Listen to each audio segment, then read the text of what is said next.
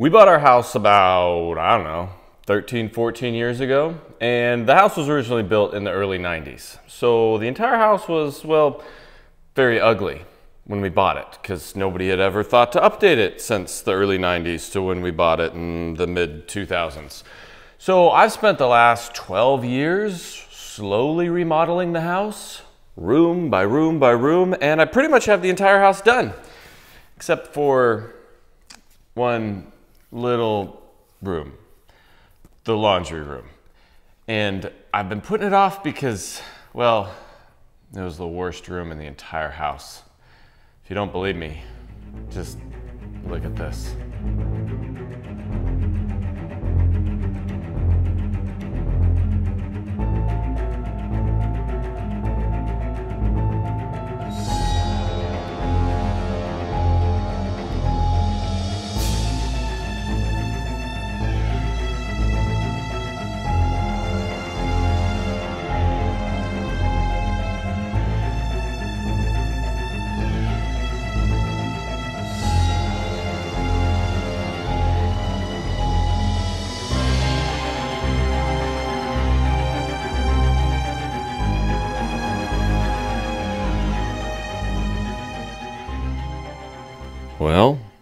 Let's rip this thing apart. Naturally, when I'm going to do any sort of demolition work, I bring in the big guns. The foreman came in with hammer in hand and he started, well, he started whacking.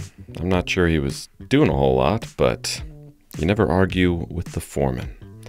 While he tried to disassemble the cabinets, I cleaned out the last little bits and bobs and started taking off all the cabinet doors. Well, almost all the cabinet doors. The foreman had a little art project going on.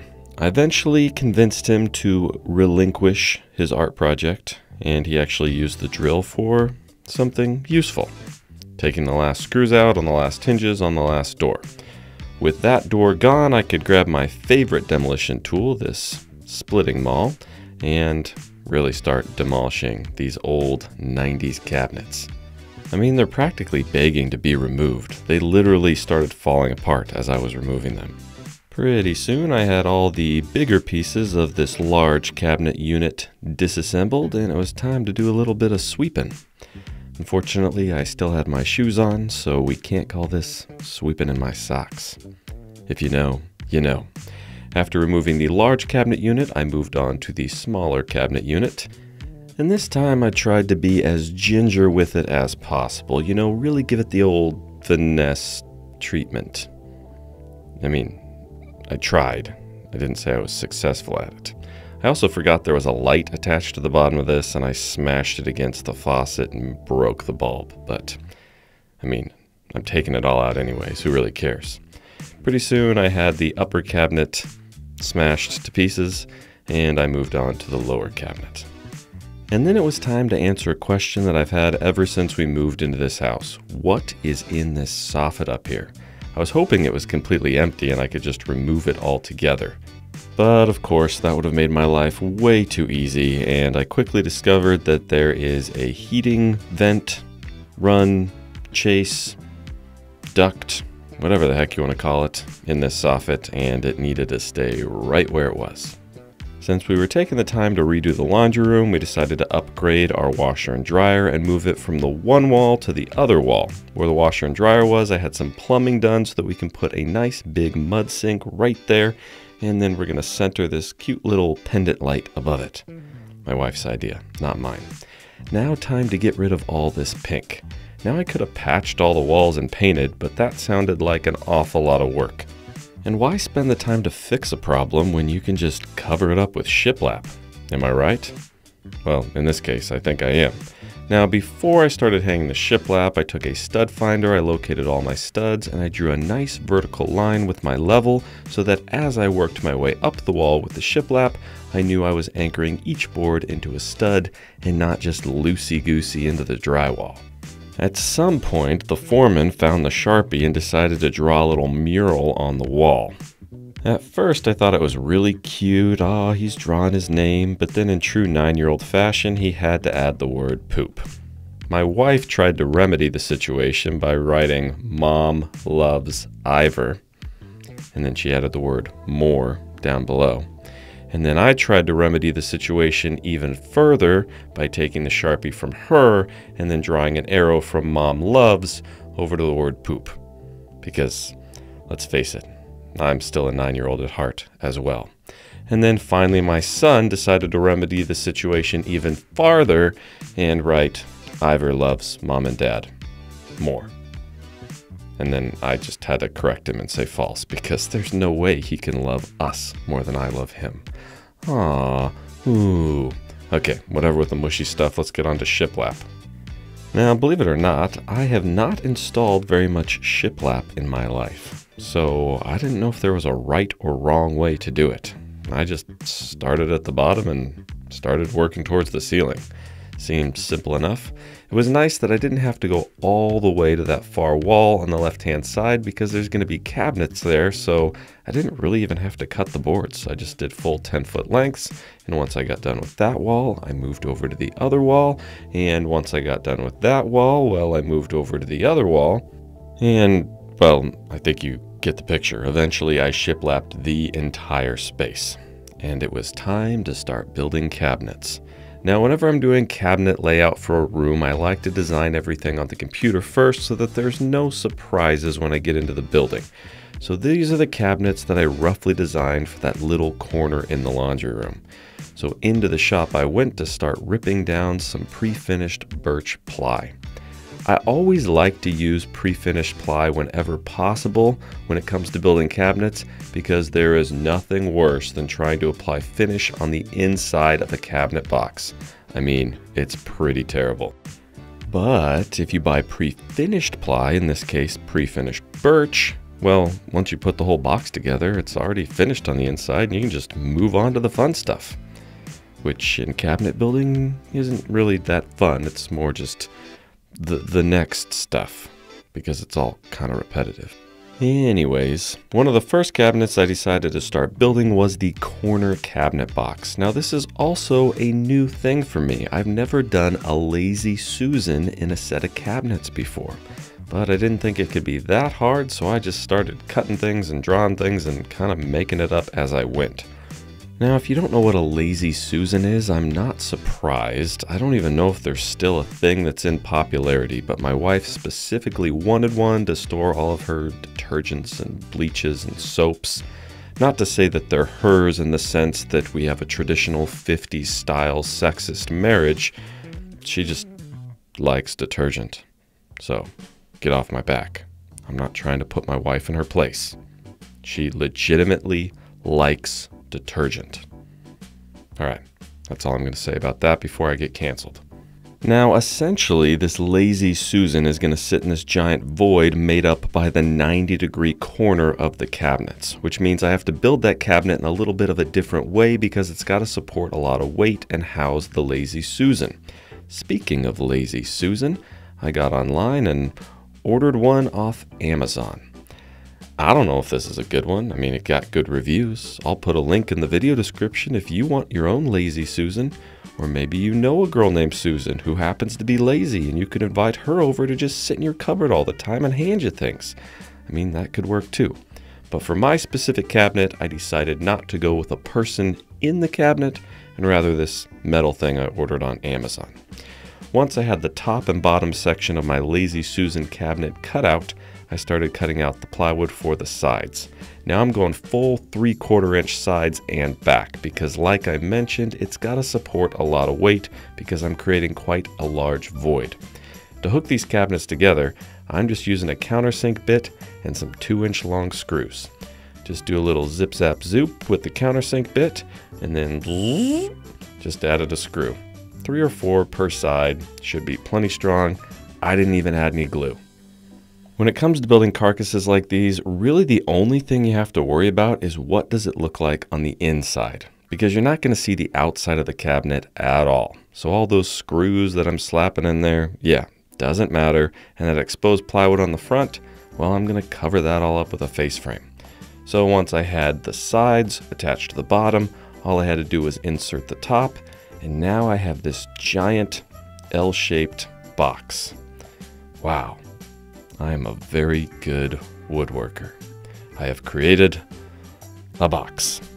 With my box done, it was time to try and figure out how to get this Lazy Susan device inserted into the cabinet.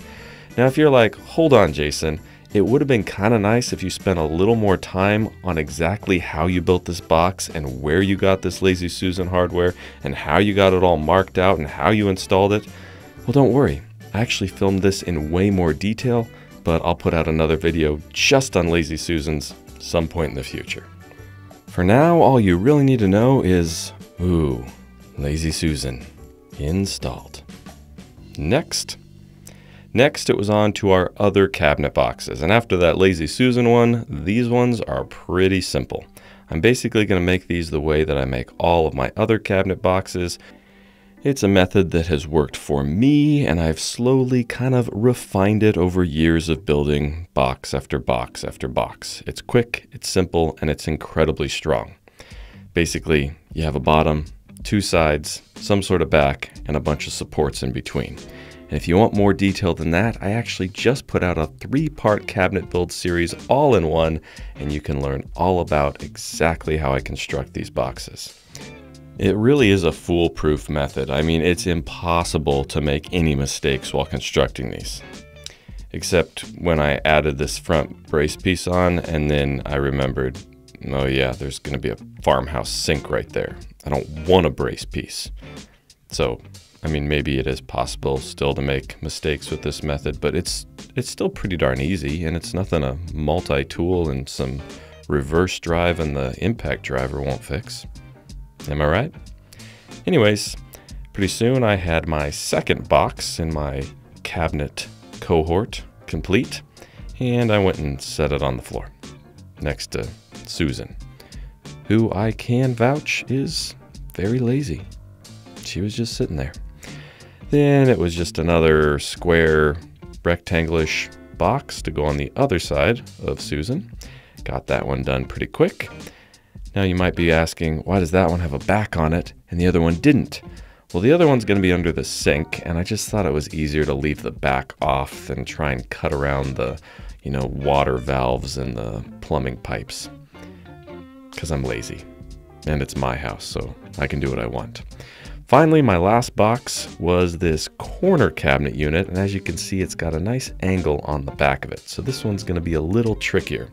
I started just by cutting the rough shape of my cabinet base, cut off that angle with the track saw, and now I'm gonna have to piece the sides on, but I'm gonna have to cut the sides at an angle so that as I piece them on, it's kind of this nice wrap around the outside of the cabinet.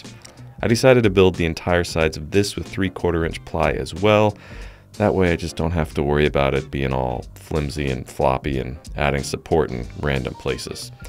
Pretty soon I had all the sides screwed on and cut to the correct angles.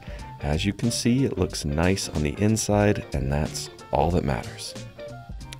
And with that, our last cabinet box for this section of cabinets was put together. So I set it on the floor, and you could really see how this whole thing is starting to take shape. I mean, other than the fact that it does seem to be just a little low, doesn't it? But don't worry, I'm gonna raise it up. You know, raise it up for your toesies so you can kick. Do the toe kick. I'm trying to tell you guys I'm I'm gonna build the toe kicks now to go underneath them, and that that'll raise them up. So all you people that were like, "Man, those cabinets look pretty low. This guy doesn't know what he's doing." Well, you just you just needed to keep watching the video because I'm just about to prove you wrong. I'm gonna raise them all up. Now you could spend a lot of time trying to make your toe kicks look super pretty, or you could just slap them together as quick as you possibly can because it's not going to matter at all. Nobody's going to see them. I mean, they're going to be shoved under a cabinet, and I always put a nice thin layer of quarter inch MDF on top of my toe kicks that I can paint and then stick in place afterwards. So I'm serious. Don't spend very much time on these. Just get them the right size and shape, get them hooked together, and move on to the next step. I mean, I even went against my own rules and I started screwing them together. And then I was like, this is stupid. Screws? Who am I? Bob Vila? Not gonna use screws to hook a toe kick together. So then I just grabbed the 16 gauge nailer and was like, Bang, bang, bam. Thank you, kind lady. And uh, I had my first toe kick assembled and ready to install. So I carried it over and set it on top of my cabinet because I thought I would be different and put the toe kick up there. You know, change things up. Actually, I was just making sure it was the right size because the top of the cabinet's the same size as the bottom, and I was too lazy to lift them up and shove it under there. I mean, I don't need to do that yet. Then I took measurements for the other toe kick on the other side, and as you can see, I just slapped that together, eyeballing all my measurements. They're not spaced evenly, but who cares? And set that one on top. Yeah, that looks pretty good. I like that. Next, it was time to go into the laundry room and install those toe kicks on the floor. And by that I mean literally just set them in place. This is why I love doing the toe kicks separate from the cabinets because you can just drop the toe kicks in, make sure they're all perfectly level without worrying about your individual boxes. And if they're level, all you got to do is set your cabinet boxes on top. It's that easy. And can I tell you another secret? I don't even attach the cabinet boxes to the toe kicks because they can't go anywhere. There's heavy cabinets sitting on top of them. So if you think you need to attach the boxes to the toe kicks, go right ahead. But I'd like to see somebody get down on their hands and knees and try and pull that toe kick out from under the cabinets after you screw the cabinet boxes to the wall. I'm guessing it'd be pretty hard. Now it's always a little nerve-wracking building cabinets in the shop based off of measurements on a computer screen because when it comes time to actually install the boxes in the space, you're always wondering if they're actually going to fit.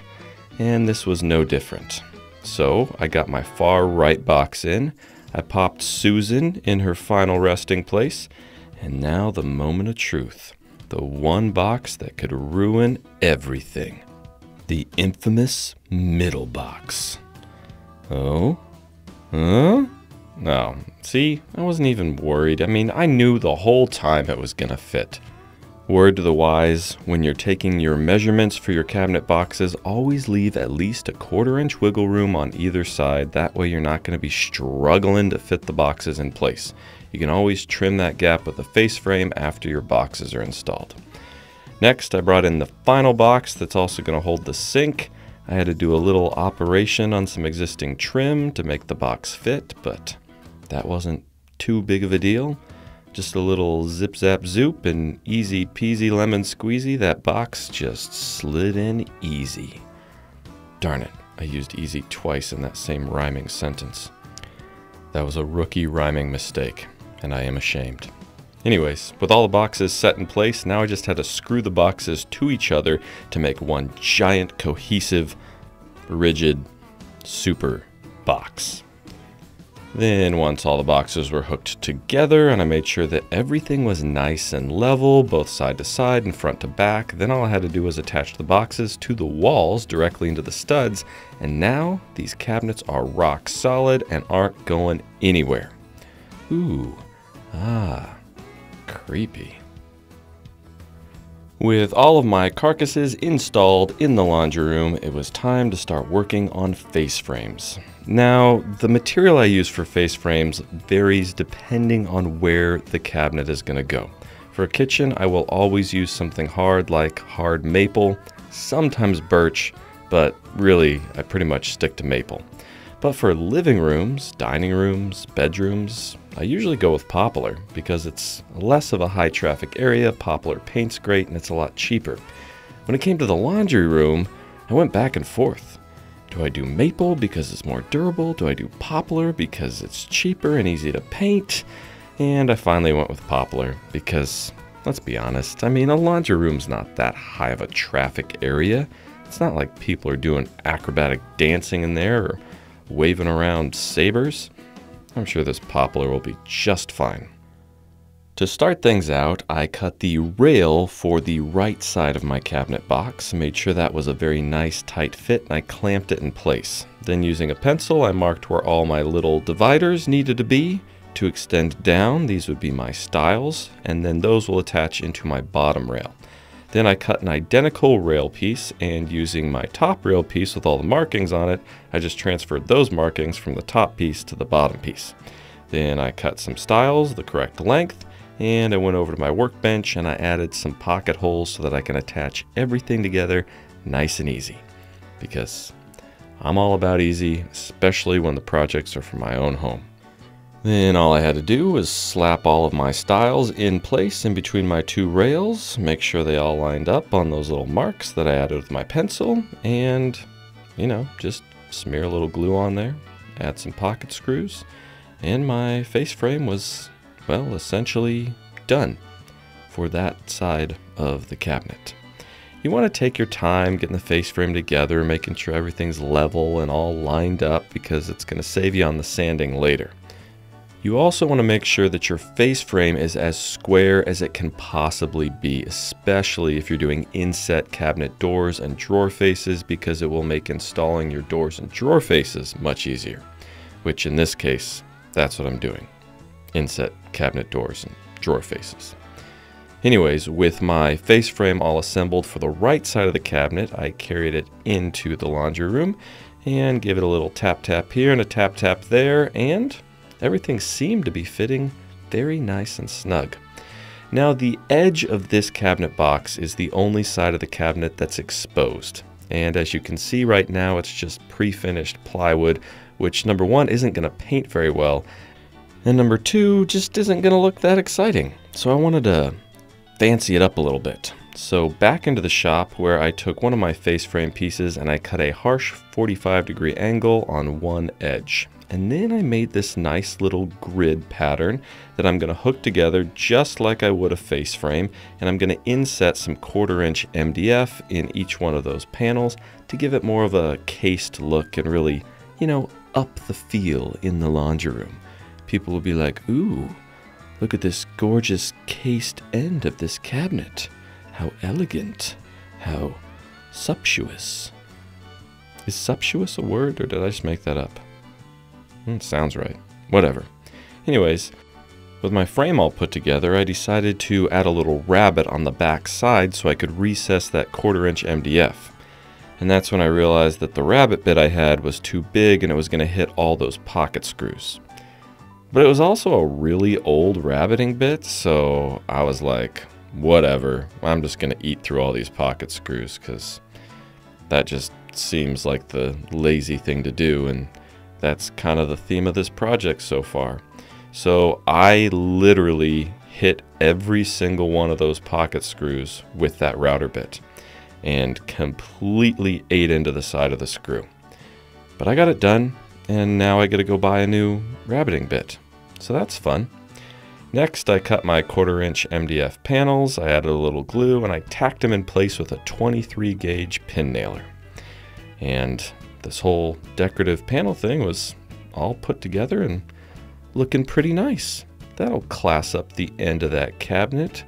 So after giving it a light hand sanding, I carried it back into the laundry room and I set it on the side of the cabinet box. And at first, I didn't realize that, um, yeah, holy cow, this thing is way too big. What the heck happened? I mean, it's not just like a little too big. This is a full six inches too big. I just completely just messed up and somehow got my measurements all cattywampus. So back into the shop where I got to punch out those quarter inch MDF panels. Lucky for me, the glue wasn't dry yet. And then I had to figure out how to cut this entire thing down to be about six inches shorter. I started off by just going over to the table saw and running the entire frame through the table saw very carefully. I didn't want to twist this thing and get a nasty kickback, so go slow and don't do this if you're not comfortable. A track saw might have been the better bet, but I managed to get it done in the end. Then I went to remove all those pocket screws, and this is when I realized that that would have been pretty easy, but I hit every single one of those pocket screws with the dumb router, and I sheared off the end of them, so now I can't back them out with the impact driver. So then I had to get creative and kind of like partially cut through them, partially wiggle them out with a pair of pliers, and It was a total pain in the butt, but I did manage to get it done eventually. Then I had to re-drill out some pocket holes on each one of those rails, and once I had all the pocket holes drilled out, then I could reattach the stile on the side. And then I had to cut down the quarter inch MDF panels to size and then reinsert those with some more glue and then re-tack them in place with a 23 gauge pin nailer. Whew. All because I got one lousy measurement wrong. Woodworking is a cruel mistress. On the upside, I do get to purchase a new rabbeting bit.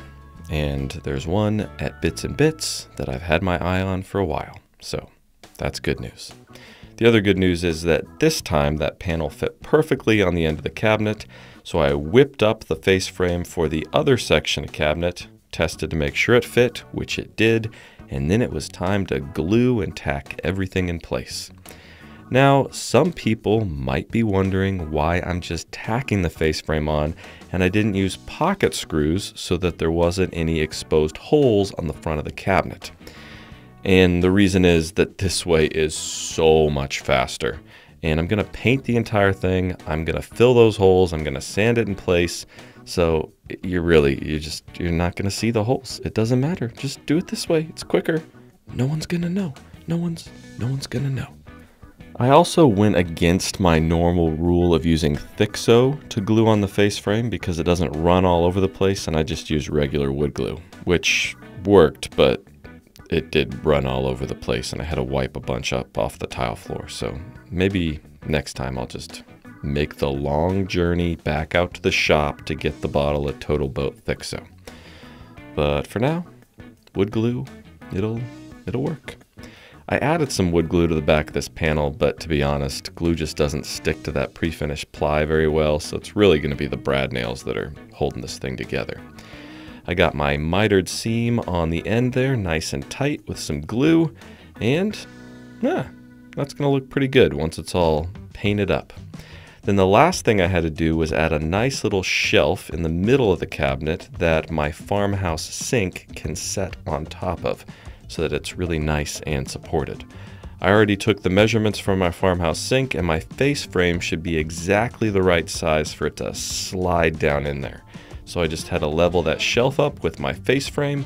I added some little strips of wood underneath as little runners for the shelf to sit on, screwed them in place, and then Craig helped me carry the farmhouse sink into the laundry room and we crossed our fingers that it would fit because, I mean, at this point everything's already installed, so if it doesn't, well, that'll be the whole side panel situation all over again. On a side note, why are farmhouse sinks so stinking heavy? I mean, we live in 2024. Can't you make these things out of PVC or something? Anyways, I'm very happy to report that the sink fit perfect. For once on this project, I was finally able to read a tape measure correctly. After a quick little check with the level to make sure that the sink was perfectly even with the top of our cabinets, which it was, I could happily say that all of our cabinet carcasses, face frames, everything were completely finished for this section of the laundry room. We actually have a lot more cabinets to build that I haven't told you about yet because, well, I haven't designed them yet. But don't worry, that'll be in part two, or three, or four. I'm pretending to wash my hands. Hey, so uh, yeah, we did a thing. That wasn't bad progress for a couple days work. Well, I mean, that was just the cabinets. It was really like five weekends to get this all demolished and the shiplap up and the electrical rerun and the plumbing rerouted and then get everything painted. But we're getting there. We'll have a laundry room eventually. Next, we need to build the countertops, or rather install the countertops. We're doing butcher block. We are gonna do a standalone video all about butcher block countertops, how to install them, what you should finish them with, some different things you wanna think about if you're gonna do butcher block. So stay tuned for that video coming out in the next couple weeks. And then I would like to say that we're done building cabinets, but once we get the butcher block installed, we're gonna set more cabinets on top of them. So yeah, I'm gonna be building cabinets for a while. If you're not signed up for our Patreon, check the link in the video description. There's a bunch of stuff happening over there that you're missing out on. Behind the scenes footage, there's a YouTube live every Monday. You get special access to all of our plans and products before anybody else does. So yeah, right down there. Go check it out. I'm just gonna be over here pretending to wash my hands.